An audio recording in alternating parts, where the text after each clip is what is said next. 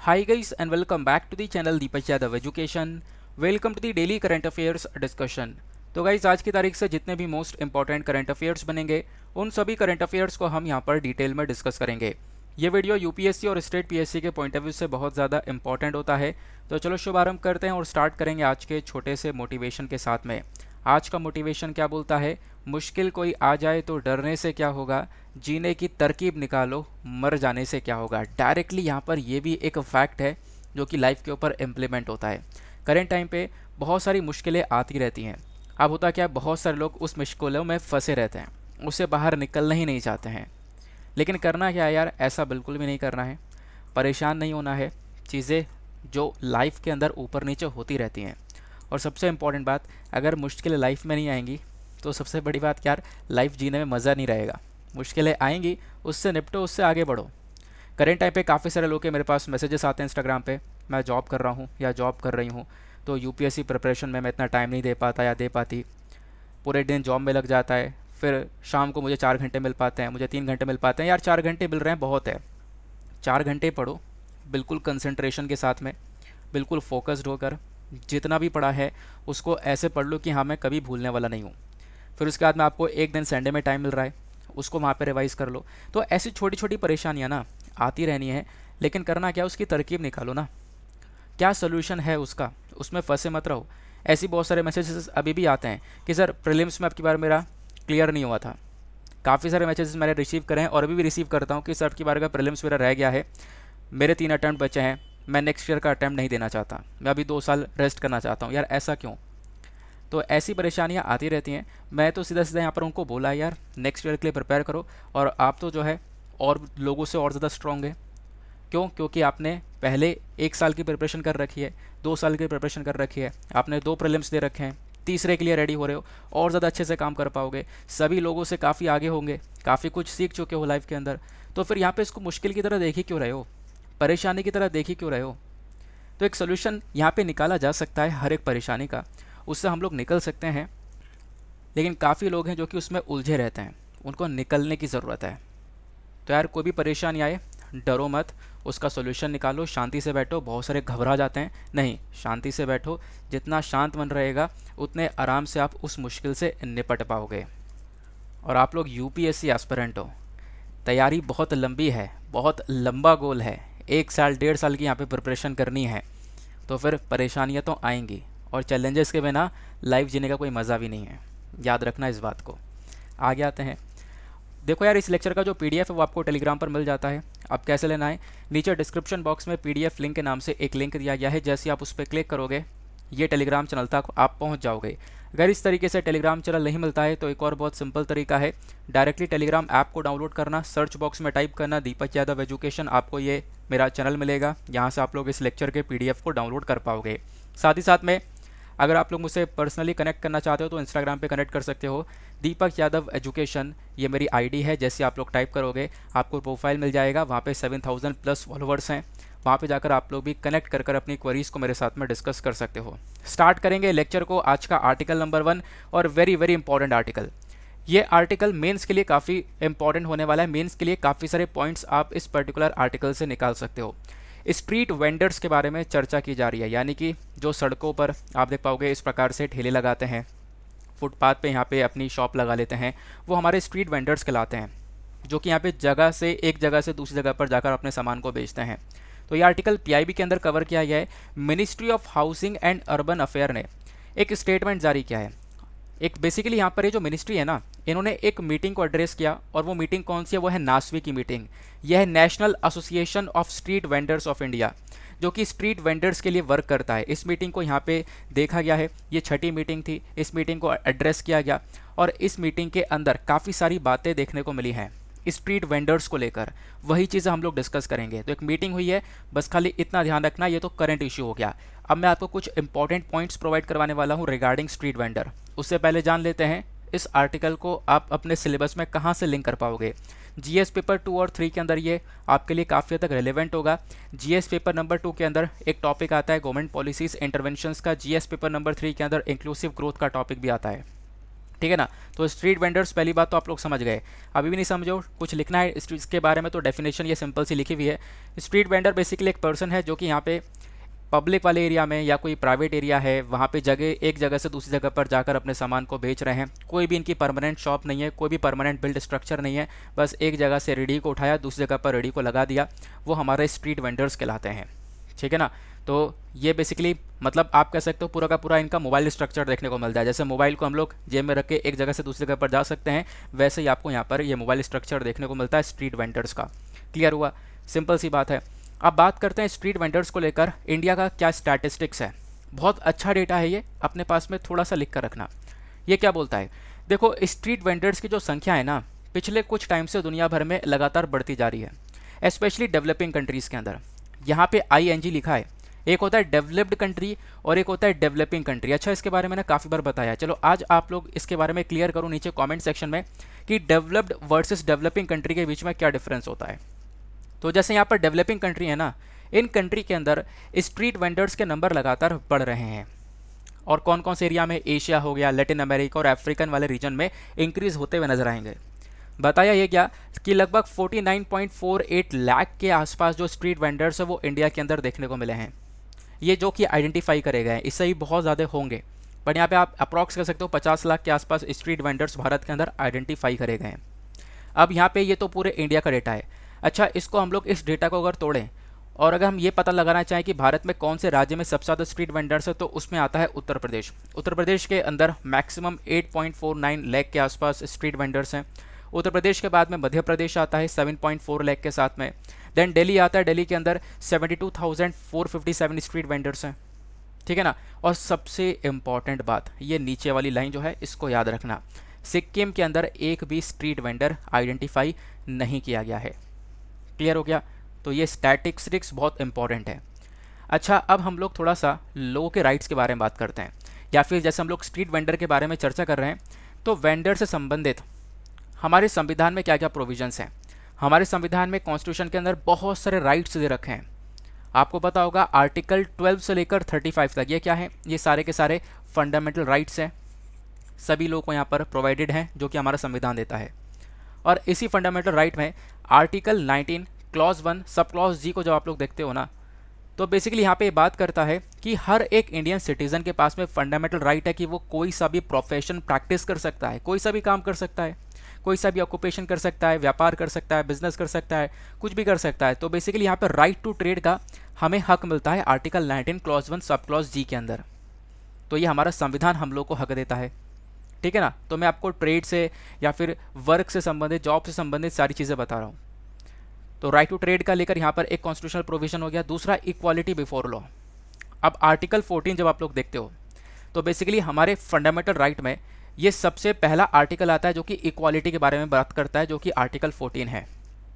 Article 14 में आप जब देखोगे डिटेल्स जाओगे तो क्लॉज वन है और क्लॉज टू है। तो क्लॉज वन बात करता है इक्वालिटी बिफोर लॉ के बारे में और क्लॉज टू बात करता है इक्वल प्रोटेक्शन ऑफ़ लॉस के बारे में। तो काफ़ी सारे लोगों को इसमें बहुत ज़्यादा कन्फ्यूज़न रहता है कि, सर, ये है क्या? चलो, आज मैं बहुत सिंपल से शब्दों में आप लोगों को बताता हूँ कि इक्वालिटी बिफोर लॉ का मतलब क्या है। देखो इक्वालिटी बिफोर लॉ को आप लोग समझने के लिए एक तरकीब याद रख सकते हो। इक्वालिटी बिफोर लॉ के अंदर बोला जाता है प्रोहिबिशन ऑफ़ अनइक्वल ट्रीटमेंट यानी कि ये जो इक्वालिटी लॉ है या इक्वालिटी बिफोर लॉ है ये क्या करता है? ये प्रोहिबिट कर, प्रोहिबिट करता है रोक लगाता है अनइक्वल ट्रीटमेंट पर। अब इसका मतलब क्या है? मैं आपको समझाता हूँ। देखो कानून के सामने सभी लोग इक्वल हैं। लॉ के सामने सभी लोग इक्वल हैं। चाहे वो रिच हो चाहे वो पुअर हो चाहे वो लॉयर हो चाहे वो कोई से प्रोफेशन में हो सभी लोग कानून के सामने बराबर हैं। सभी को यहाँ पर उस कानून के कानून से ट्रीट किया जाएगा। तो इक्वालिटी बिफोर लॉ यानी कानून के सामने सब बराबर हैं। यहाँ पे अनइक्वल ट्रीटमेंट को प्रोहिबिट किया जाएगा। ऐसा नहीं है कि अमीर बच जाएगा, गरीब रह जाएगा, ये अनइक्वल ट्रीटमेंट हुआ। ठीक है ना? तो बेसिकली जो अनइक्वल ट्रीटमेंट है ना, इसको रोका जाता है इक्वालिटी बिफोर लॉ के अंदर। तो यहाँ पे आर्टिकल 14 का ये क्लॉज वन है। अब क्लॉज टू को जब आप लोग देखते हो ना तो ये बात करता है इक्वल प्रोटेक्शन ऑफ़ लॉस अब इक्वल प्रोटेक्शन ऑफ़ लॉस के अंदर क्या होता है? इक्वल प्रोटेक्शन ऑफ़ लॉस के अंदर हम लोग बात करते हैं कि हम लोग डिमांड करते हैं कि भाई हमें इक्वल लॉस चाहिए। मतलब देखो ऑब्वियस ही बात है, कानून के सामने सभी लोग इक्वल हैं। लेकिन इक्वल प्रोटेक्शन ऑफ़ लॉस के अंदर बात ये होती है कि मान लो कोई व्यक्ति है, ये दो पर्टिकुलर ग्रुप हैं, दोनों में काफ़ी डिफरेंस है तो दोनों के हिसाब से अलग अलग हिसाब से कानून बनाया जाएगा।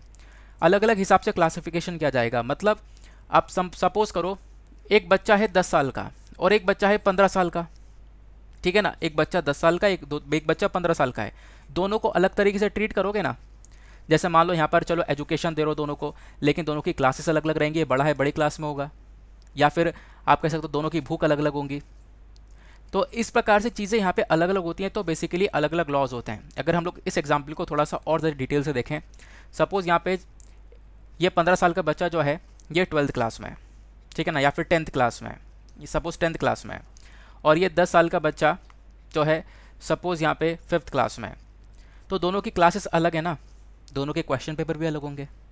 ऐसा थोड़ी ना है कि आप लोग यहाँ पे टेंथ वाली क्लास को और फिफ्थ वाले क्लास को भी यहाँ पर एक जैसा क्वेश्चन पेपर दे दोगे। तो ऑब्वियसली बात है टेंथ वाला सॉल्व कर लेगा फिफ्थ वाला सॉल्व कर पाएगा क्या? नहीं कर पाएगा। तो यहाँ पे क्या चाहिए? इक्वल प्रोटेक्शन ऑफ़ लॉ चाहिए। इसके हिसाब से इसके लिए कानून अलग होगा और इसके हिसाब से इसके लिए कानून अलग होगा।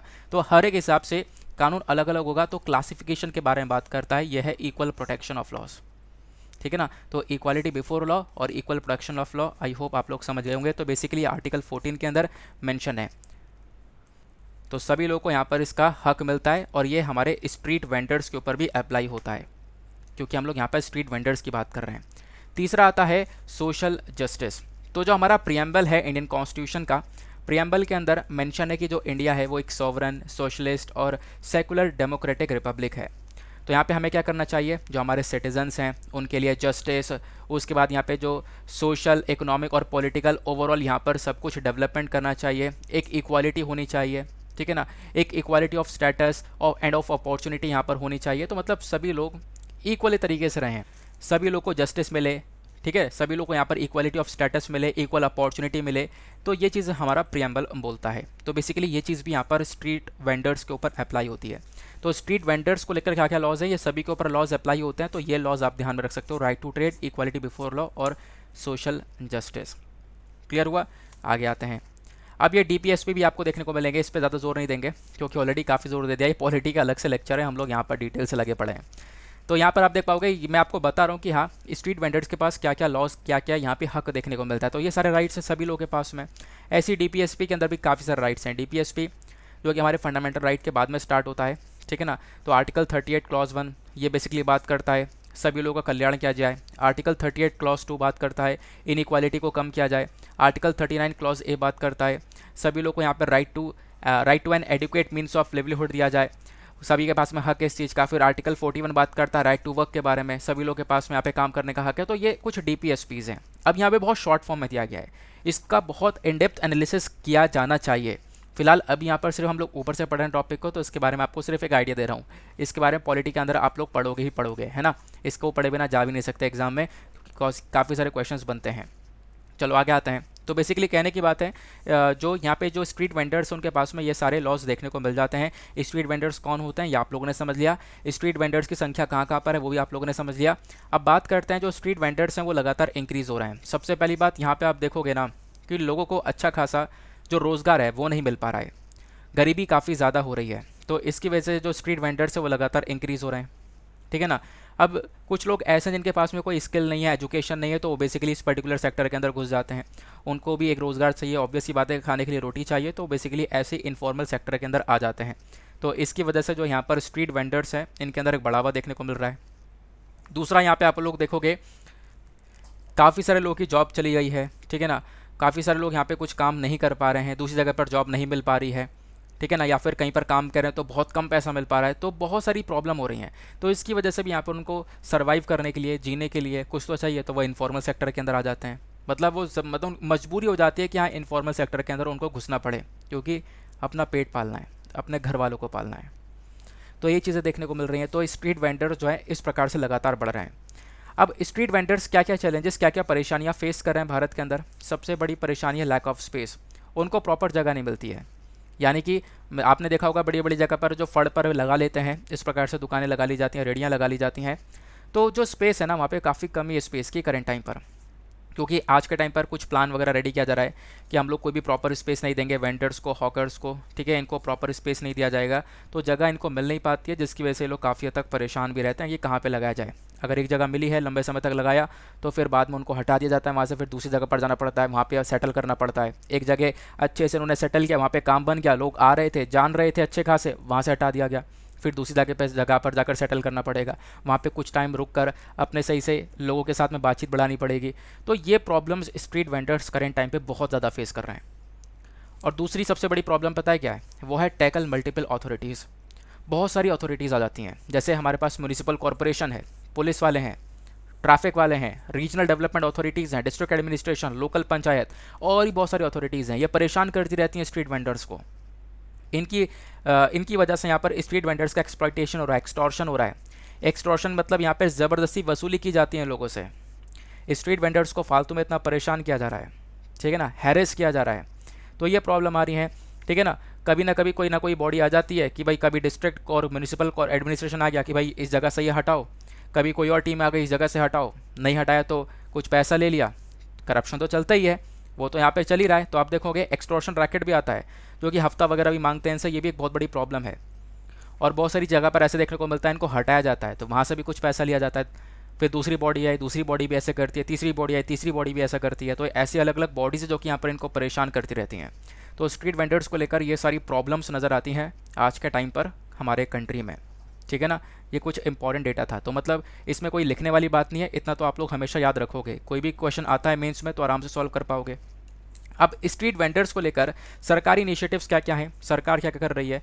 तो यहाँ पे एक है स्वनिधि स्कीम स्वनिधि स्कीम को लॉन्च किया गया था ताकि हम लोग 50 लाख स्ट्रीट वेंडर्स को फ़ायदा पहुँचा सकें 50 लाख स्ट्रीट वेंडर्स को सपोर्ट कर सकें, जो खासकर शहर वाले एरिया हैं, गाँव वाले एरिया हैं, उन जब सभी एरियाज़ में।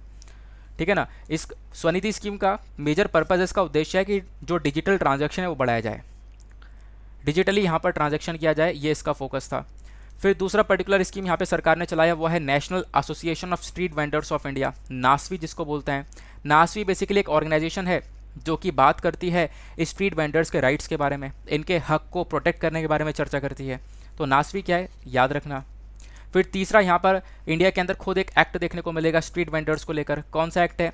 Street vendors protection of livelihood and regulation of street vending act 2014 2014 का एक्ट है, जो कि बात करता है स्ट्रीट वेंडर्स को प्रोटेक्शन देने के लिए, उनके राइट्स को प्रोटेक्ट करने के लिए बात करता है। ठीक है ना? तो इसने यहाँ पर स्ट्रीट वेंडर की डेफिनेशन भी दे रखी है, जो कि मैंने स्टार्टिंग में आपको समझा दी है।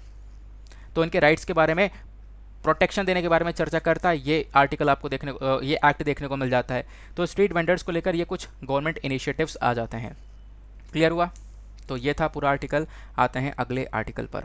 नेक्स्ट इंपॉर्टेंट न्यूज़ यहाँ पे बात की गई है क्लाइमेट फिनेंस के बारे में। तो क्लाइमेट फिनेंस क्या होता है? आओ कवर करते हैं। तो हुआ क्या है? पहले आर्टिकल को देखो इंडियन एक्सप्रेस का आर्टिकल है। यहाँ पे कोप 26 के जो चीफ हैं, इनका कहना यह है कि हम लोग 2023 तक क्या करेंगे? 100 बिलियन डॉलर्स का क्लाइमेट फाइनेंस का टारगेट अचीव करेंगे। तो क्लाइमेट फाइनेंस क्या होता है और कैसे काम करता है, ये सारी चीज़ें बहुत इंपॉर्टेंट है। इस पर्टिकुलर आर्टिकल को आप लोग जीएस पेपर थ्री से रिलेट कर पाओगे। सिलेबस के अंदर हमारे पास टॉपिक है एनवायरमेंट पॉल्यूशन एंड डिग्रेडेशन का। इशू क्या है, इसको समझते हैं। ये मुद्दा क्या है? तो U N F triple C अब इसकी फुल फॉर्म क्या है? तो वह है United Nation framework convention on climate change इसको हम लोग बोलते हैं U N F triple C तो इसके जो प्रेसिडेंट हैं आलोक शर्मा, ये इंडिया विज़िट करे और आकर उन्होंने काफ़ी सारा डिस्कशन किया कि भारत ने कुछ कमिटमेंट किया है। भारत ने यहाँ पर एक टारगेट रखा है कि 2023 तक हमारा एक टारगेट है कि हम लोग 100 बिलियन डॉलर्स का क्लाइमेट फाइनेंस को अचीव करेंगे। तो उसको लेकर यहाँ पर डिस्कशन किया गया है। ठीक है ना? अब ये क्लाइमेट फाइनेंस को अचीव कैसे किया जाएगा, इसको समझने से पहले आप ये समझो कि क्लाइमेट फाइनेंस होता क्या है। देखो यहाँ पे आज के टाइम पर क्या हो रहा है ना? क्लाइमेट चेंज एक बहुत बड़ी प्रॉब्लम है। क्लाइमेट चेंज मतलब जो रेगुलर बेसिस पर टेम्परेचर इंक्रीज़ हो रहा है। गर्मी लगातार बढ़ रही है। ये अपने आप में अभी तक की सबसे बिगेस्ट प्रॉब्लम देखने को मिल जाती है। तो यहाँ पे बोला गया कि जो क्लाइमेट चेंज है, ये बेसिकली इसको टैकल करने के लिए कुछ फंड चाहिए, कुछ पैसा चाहिए इन्वेस्टमेंट चाहिए, ताकि जो कंट्रीज़ हैं, वो अच्छी अच्छी टेक्नोलॉजीज़ को अडॉप्ट करें और जिसकी वजह से पोल्यूशन हो रहा है, प्रदूषण हो रहा है और पोल्यूशन की वजह से क्लाइमेट चेंज बढ़ रहा है, इस पोल्यूशन को रोका जा सके। ठीक है ना? तो बेसिकली क्लाइमेट फाइनेंस क्या है? ये रेफर करता है लोकल नेशनल या फिर ट्रांसनेशनल फाइनेंसिंग को। ये पैसा दिया जाता है पब्लिक प्राइवेट ऑल्टरनेटिव सोर्सेज से पैसा आता है और इस पैसे का काम ये होता है कि हम लोग पोल्यूशन को रोक सकें और क्लाइमेट चेंज को रोकें जो क्लाइमेट चेंज हो रहा है टेम्परेचर लगातार इंक्रीज हो रहा है, इसको कंट्रोल किया जा सके। तो पैसा खर्च जाएगा एनवायरमेंट के ऊपर, उसको क्लाइमेट फाइनेंस बोलते हैं।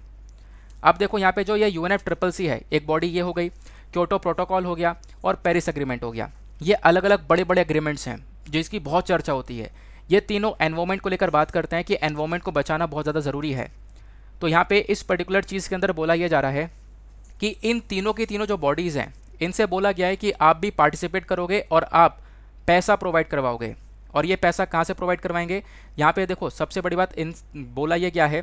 ये जो U N F triple C है क्योटो प्रोटोकॉल है और पेरिस एग्रीमेंट है। इन्होंने बोला है कि जो डेवलप्ड कंट्रीज़ है, वो पैसा देंगे डेवलपिंग कंट्रीज़ को। अब इसका मतलब क्या है? इसको समझना है, इसको थोड़ा सा समझने के लिए एक वाइडर एस्पेक्ट चाहिए। देखो डेवलप्ड कंट्रीज़ वो हैं जो कि विकसित हो चुकी हैं, जिनके यहाँ पे विकास हो चुका है लास्ट में ईडी लगाए। और डेवलपिंग कंट्रीज़ वो हैं जो कि यहाँ पर विकास में चल रही हैं मतलब जहाँ पे हम लोग डेवलपमेंट लगातार बेसिस पर चल रहा है, काम चल रहा है, हम लोग यहाँ पर डेवलप्ड बनने की कोशिश कर रहे हैं। तो बेसिकली वो डेवलपिंग कंट्री है। अब देखो, एक इंपॉर्टेंट बात आपको यहाँ पे पता चलनी चाहिए।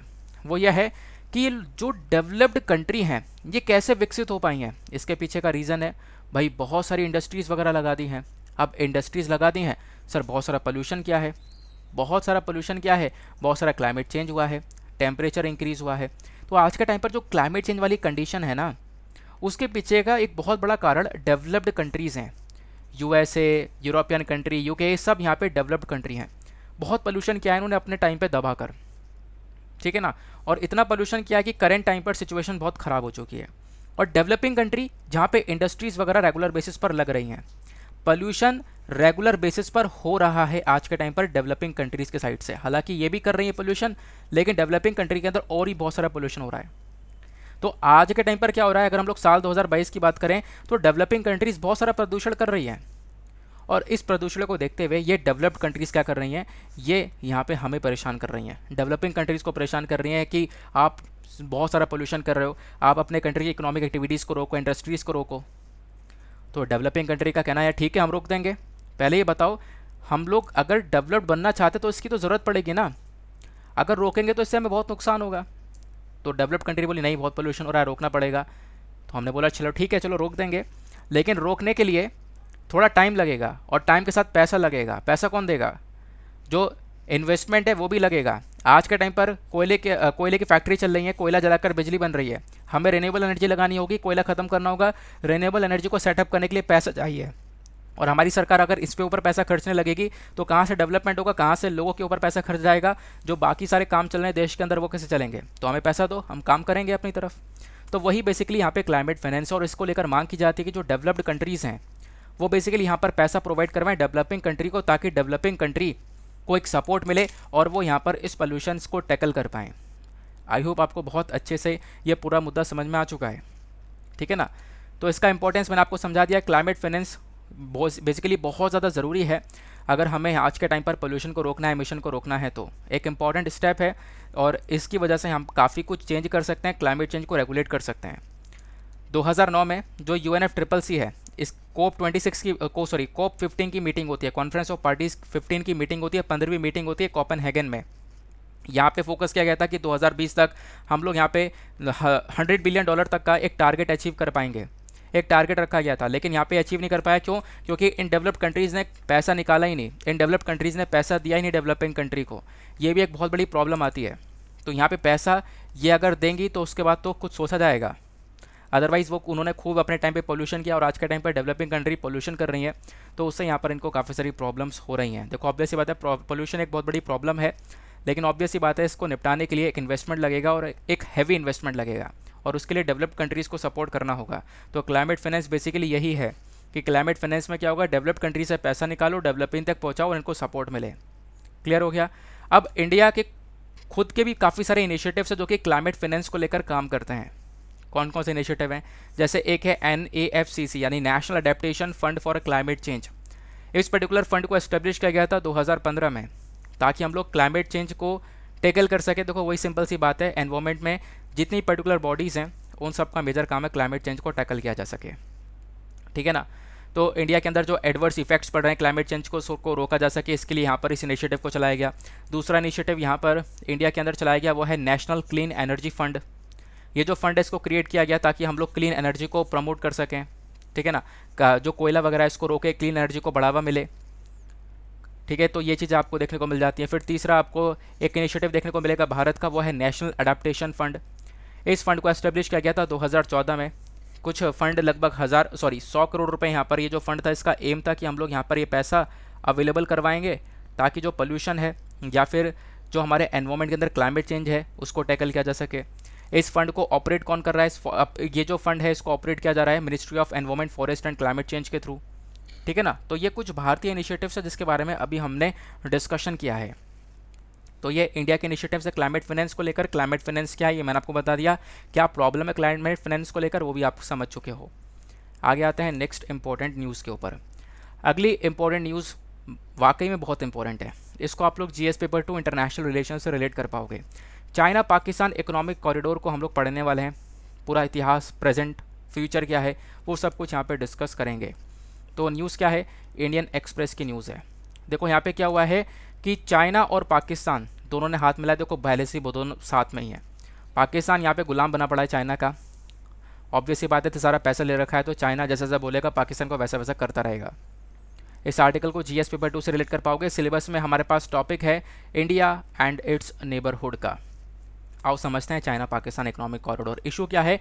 पाकिस्तान और चाइना दोनों ने मिलकर डिसाइड किया कि हम थर्ड कंट्री को इंक्लूड करने वाले हैं अपने multi billion dollar project CPEC के अंदर. नहीं समझ में आया? आओ समझो.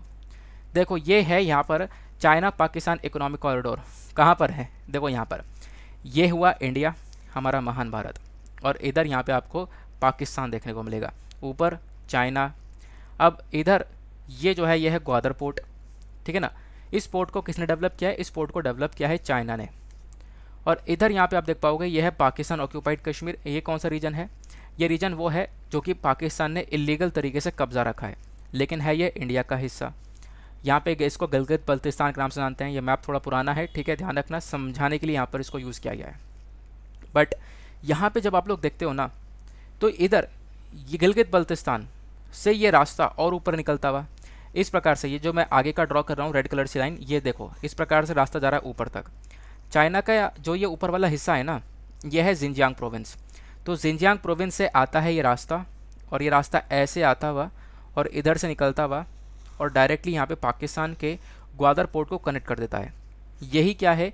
यही है चाइना पाकिस्तान इकोनॉमिक कॉरिडोर जो कि चाइना को और पाकिस्तान को कनेक्ट करता है। चाइना का जिंजियांग रीजन और पाकिस्तान का ग्वादर बंदरगाह या ग्वादर पोर्ट। ठीक है ना? तो ये Pakistan China Pakistan economic corridor है। तो इंडिया बहुत समले से यहाँ पर इसके अगेंस्ट में मतलब कि पहले दिन से ही जो है ना, इंडिया इसके अगेंस्ट में है। अच्छा ऐसा क्यों? तो आपको इनको क्या दिक्कत है? मतलब भारत को क्या दिक्कत हो गई? भारत क्यों इसके अगेंस्ट में तो इसको समझो। ये देखो, ये जो निकल रहा है ना प्रोजेक्ट ऊपर से, ये हमारी टेरिटरी से निकल रहा है। ये जो हिस्सा है, ये तो है तो इंडिया का ही ना। उसने इलीगल तरीके से कब्जा रखा है। आज नहीं तो कल ये वापस आना है भारत के पास में। तो फिर ये जो प्रोजेक्ट निकाला है तो ये तुमने भारत की टेरिटरी से निकाला है। इसकी वजह से इंडिया मतलब पहले दिन से ही जो है ना इसके अगेंस्ट में है। चाइना पाकिस्तान इकोनॉमिक कॉरिडोर के अगेंस्ट में क्लियर हो गया? इतनी बात समझ में आ गई? तो भारत तो अपना कंसर्न दिखा ही रहा है, लेकिन मुद्दा यह है कि पाकिस्तान और चाइना पाकिस्तान का हालत तो वैसे ख़राब हो चुका है, महँगाई वगैरह काफ़ी ज़्यादा हो चुकी है, बहुत सारा पैसा यहाँ पर चाइना से पहले ले रखा है, वो पैसा ये लोग चुका नहीं पा रहे हैं। तो अब सोचा इन दोनों ने मिलकर कि भैया एक तीसरी कंट्री को और लेकर आ जाओ। तीसरी कंट्री का इन्वेस्टमेंट और ले लो यहाँ से। पाकिस्तान तो खुश हो जाएगा।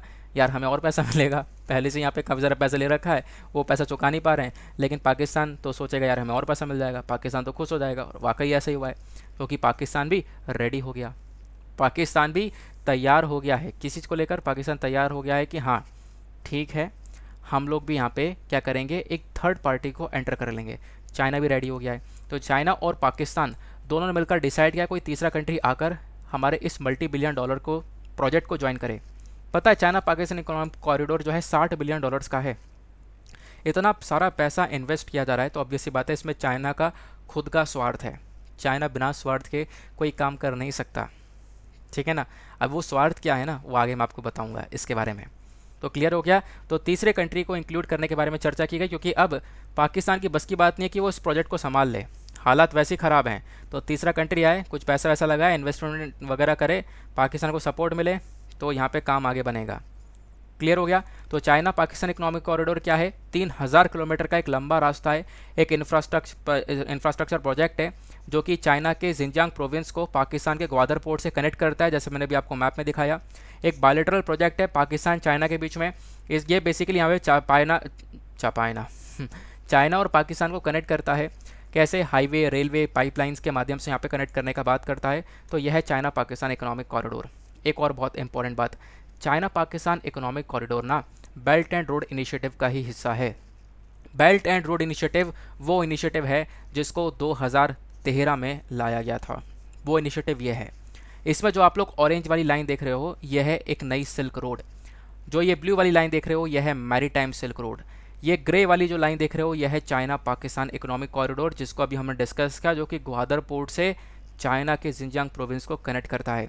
ये जो पूरा का पूरा हिस्सा देख रहे हो ना ऑरेंज ब्लू ग्रे ये पूरा का पूरा चाइना का प्रोजेक्ट है। दुनिया भर को कनेक्ट करता है यहाँ पर इस पर्टिकुलर प्रोजेक्ट से। इसी को हम लोग बेल्ट एंड रोड इनिशिएटिव बोलते हैं। कैसे इसने ये प्रोजेक्ट बना लिया?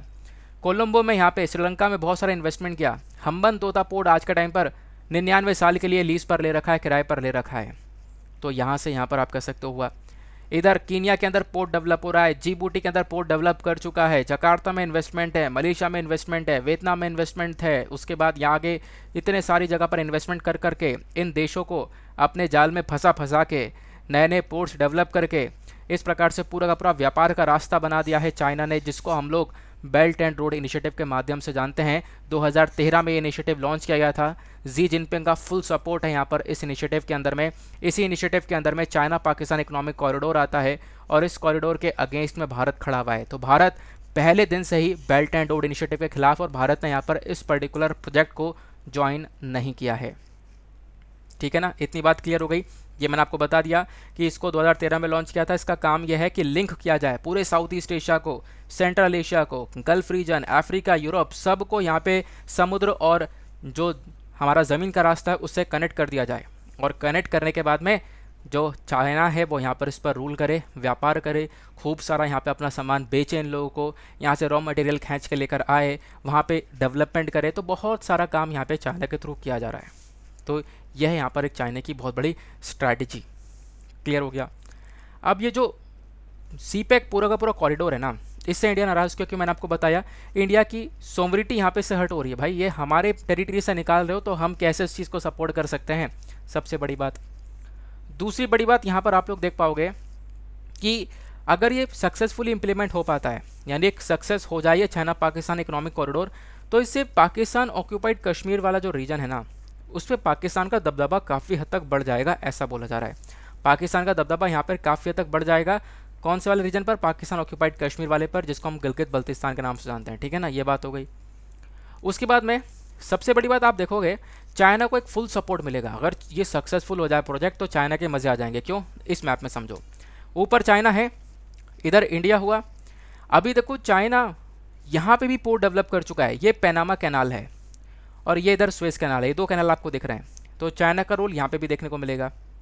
दुनिया भर में व्यापार करता है इधर के माध्यम से भी। पैनामा कैनाल अच्छा कैनाल क्या होता है? कैनाल बेसिकली यहाँ पर एक लंबा रास्ता होता है जो कि दो बड़े समुद्रों को कनेक्ट कर रहा होता है। तो आप कहोगे वो तो स्ट्रेट होता है, ठीक बात है। हाँ वो स्ट्रेट होता है जो कि यहाँ पे जैसे कि इंडियन ओशन हो गया, इधर पैसिफिक ओशन हो गया, बीच में काफ़ी सारे स्ट्रेट है जो कि दोनों समुद्रों को कनेक्ट करता है।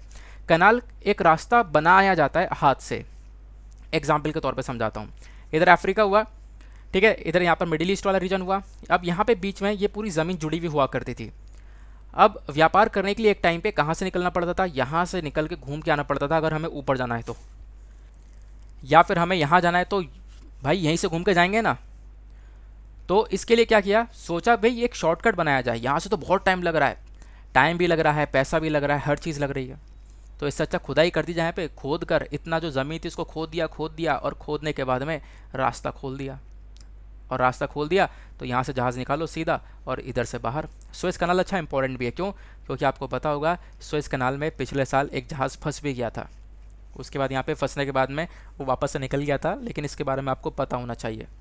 क्लियर हो गया? तो स्वेस कनाल के बारे में आपको सारी इन्फॉर्मेशन मिल चुकी है। तो अच्छा बात ये थी कि यहाँ पे तो चाइना है ही। उसके बाद में अगर इस प्रकार से ग्वादर पोर्ट तक यहाँ पे आ जाता है यानी कि ये जो इन, पूरा का पूरा इनिशिएटिव है चाइना पाकिस्तान इकोनॉमिक कॉरिडोर का अगर ये सक्सेसफुली इम्प्लीमेंट हो जाता है तो इससे दिक्कत क्या है? देखो दिक्कत यह है चाइना का दबदबा इस वाले रीजन में भी बन जाएगा।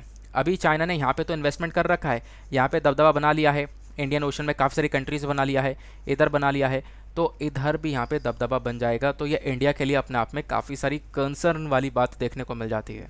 ठीक है ना? दूसरा यहाँ पर क्या होगा? इस प्रोजेक्ट के माध्यम से चाइना के जो स्ट्रिंग ऑफ़ पर्ल वाला इनिशिएटिव है, इसको और ज़्यादा मजबूती मिल जाती है। आपको पता होगा, चाइना का एक इनिशिएटिव है स्ट्रिंग ऑफ़ पर्ल का। यानी मोतियों की माला यहाँ पर चाइना ने बुन रखी है चारों तरफ़। जैसे ग्वादर पोर्ट ये हो गया, यहाँ पे चाइना बैठा है जी बूटी में बैठा है, केनिया में यहाँ पर पोर्ट बना दिया मॉलदीव में इन्वेस्टमेंट कर दिया हम्मतोता पोर्ट इधर हो गया, इधर यहाँ पे पोर्ट हो गया म्यांमार के अंदर, बांग्लादेश का चित्तागोंग पोर्ट हो गया, और भी बहुत सारे पोर्ट्स हो गए, यहाँ पे सब जगह इन्वेस्टमेंट कर रखा है, सभी जगह पर चाइना बैठा है। तो चाइना ने एक मोतियों की माला बुंदी है इंडिया के अगेंस्ट में। इसको स्ट्रिंग ऑफ़ पर्ल के नाम से हम लोग जानते हैं। तो इसी स्ट्रिंग ऑफ़ पर्ल को और ज़्यादा मजबूती मिल जाती है इस ग्वादर पोर्ट की तरफ़ इन्वेस्टमेंट करने से।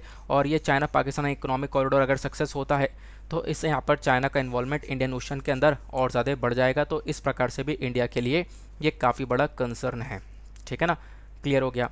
नाउ आते हैं नेक्स्ट इंपॉर्टेंट आर्टिकल की तरफ़। अगले इंपॉर्टेंट जो न्यूज़ है ये बेसिकली एक स्पीशी के बारे में है। तो इसको आप लोग G S paper three environment से रिलेट कर पाओगे।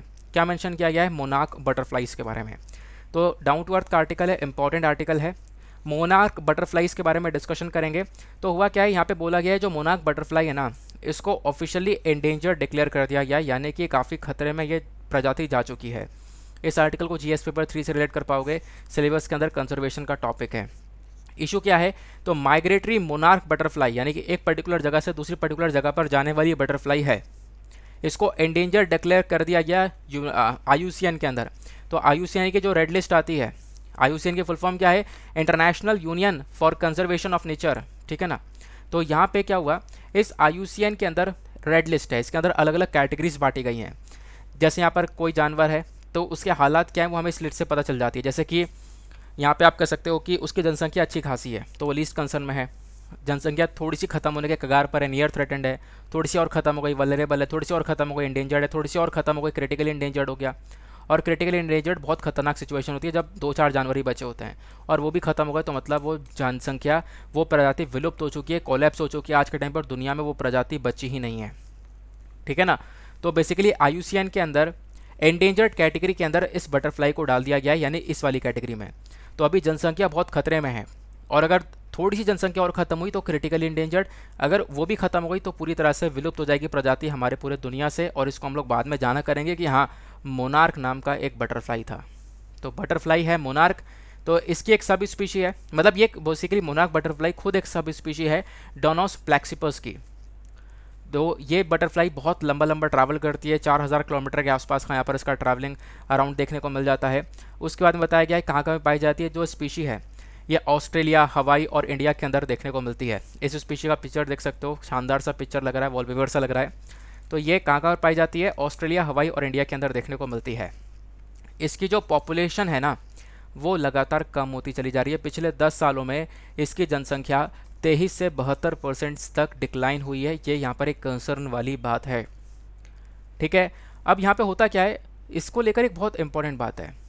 ये जो बटरफ्लाई है, ये एक यूनिक सा लाइफ फॉलो करती है। ये जो ब्रीडिंग करते हैं, यानी इनके अंदर जो रिप्रोडक्शन हो रहा है ब्रीडिंग वगैरह हो रही है, वो एक पर्टिकुलर प्लांट पर होता है। एक प्लांट पर होता है मिल्क वीड के ऊपर। दिक्कत यह है कि इनका, इनकी ब्रीडिंग नहीं हो पा रही है। तो ब्रीडिंग नहीं हो पा रही, जो जनसंख्या कैसे बढ़ेगी? अब आप क्वेश्चन पूछोगे, सर ब्रीडिंग क्यों नहीं बढ़ पा रही है? ब्रीडिंग इसलिए नहीं बढ़ पा रही क्योंकि मिल्क वीड जो है ना, इस प्लांट को रिमूव कर दिया जा रहा है फार्मर्स के थ्रू फार्मर्स इस प्लांट को रिमूव कर दे रहे हैं, हटा दे रहे हैं तो इस प्लांट की संख्या कम हो रही है। तो इस प्लांट की संख्या कम हो रही है तो यहाँ पर इस तितली की भी जनसंख्या कम हो रही है। ऐसा क्यों? क्योंकि इसी प्लांट के ऊपर बैठकर ये लोग ब्रीडिंग करते हैं। ये आपको प्लांट देखने को मिल जाएगा, यह है मिल्क वीड का। क्लियर हो गया? आगे आते हैं। तो फार्मर्स यहाँ पे इस मिल्क वीड को ख़त्म करने के लिए रिमूव करने के लिए वीडीसाइड का इस्तेमाल करते हैं। वीडीसाइड क्या है? ये बेसिकली वीड किलर्स है, या पेस्टिसाइड मतलब मान लो कोई इन्होंने खेती करी, उसके बाद कुछ प्लांट्स जैसा कि मिल्क वीड हो गया, उन्हें नहीं चाहिए, वो फार्मर्स यहाँ पे इसको अनवांटेड प्लांट समझ रहे हैं। तो इसको मारने के लिए वीडीसाइड कर देते हैं पेस्टिसाइड का इस्तेमाल करते हो वो प्लांट मार दिए जाते हैं। अब वो प्लांट खत्म हो गए तो फिर इन बटरफ्लाई को कोई सपोर्ट मिलेगा नहीं, क्योंकि वो बटरफ्लाई उसी प्लांट के ऊपर ब्रीड करती है। तो बेसिकली यह है एक कंसर्न क्लियर हुआ? तो ये बातें बताई गई। दूसरा क्या है कि जहाँ पे बटरफ्लाई पाई जा रही हैं, भाई डिफॉरेस्टेशन हो रहा है, पेड़ की कटाइयाँ हो रही हैं, उसकी वजह से वो पेड़ खत्म हो जा रहे हैं। प्लस यहाँ पे आप देख पाओगे डेवलपमेंट बहुत ज़्यादा हो रहा है। शहर बनते चले जा रहे हैं, जंगल कटते चले जा रहे हैं। ये भी एक कंसर्न है। उसके बाद एक और प्रॉब्लम देखने को मिल जाती है। बहुत तेज़ी से आंधी आ गई या सूखा पड़ गया। तो इसकी वजह से यहाँ पे जो फ्लावर की साइकिल है, वो बेकार हो जाती है। और फ्लावर ख़त्म तो यहाँ पर इनकी जो जनसंख्या है वो भी ख़त्म।